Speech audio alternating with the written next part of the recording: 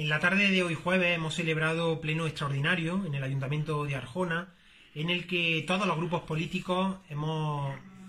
hemos aprobado algunas medidas interesantes para y algunas medidas interesantes de cara a las próximas semanas. Por una parte hemos aprobado por unanimidad las ayudas directas que van a ir a, la hostelería de la, de la localidad, ayudas eh, que, van a, que van a oscilar hasta un máximo de 1.000 euros y de la que se van a poder beneficiar aquellos autónomos, aquellas empresas de nuestra localidad, hosteleros, que están viendo en esta crisis, en esta pandemia, están siendo los grandes perjudicados. Por supuesto, no sin olvidarnos del resto de comercio. El Ayuntamiento de Arjona ya os anuncio que va a emprender a lo largo del mes de marzo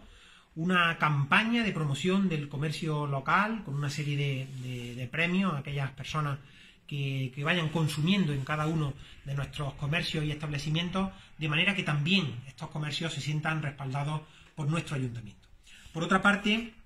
hemos aprobado el convenio de colaboración entre el Ayuntamiento de Arjona y la Junta de Andalucía para acometer, eh, para que pueda salir a licitación la obra del Paseo de San Martín, gracias al programa Ciudad Amable. Como sabéis, una, actuación muy esperada desde hace ya bastante tiempo en nuestra localidad, que, como sabéis, eh, va a financiar parte del Ayuntamiento de Arjona y parte la Junta de Andalucía. Una obra que, si todo sale bien, y si no hay muchos más retrasos, comenzará eh, aproximadamente en el mes de septiembre de este año. Por otra parte, hemos podido analizar, hemos podido dar un respaldo importante al sector del aceite de oliva de nuestra localidad, eh, instando a las autoridades competentes a que eh, el etiquetado Nutrioscore tan famoso que existe, que se está debatiendo ahora del, del aceite de oliva, pase a ser denominado como un producto completamente saludable, como un producto con la categoría A, de manera que sea el consumo de nuestro aceite de oliva tan preciado cada vez más demandado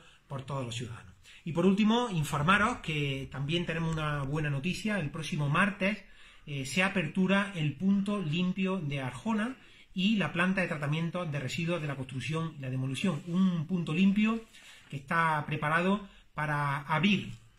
cuatro días en semana, concretamente de martes a sábado por la mañana. Veremos en el futuro si es necesario abrirlo en otro, en otro momento, para que todos los ciudadanos de Arjona, de forma totalmente gratuita, puedan dejar allí depositar eh, todos los enseres que actualmente pues, no les sirven para nada y que tienen que ser depositados en puntos autorizados como, como este. Recordar que este punto limpio no tiene ningún tipo de coste para el ciudadano, ni al depositar allí los enseres ni tampoco a través de ningún tipo de, ningún tipo de tasa.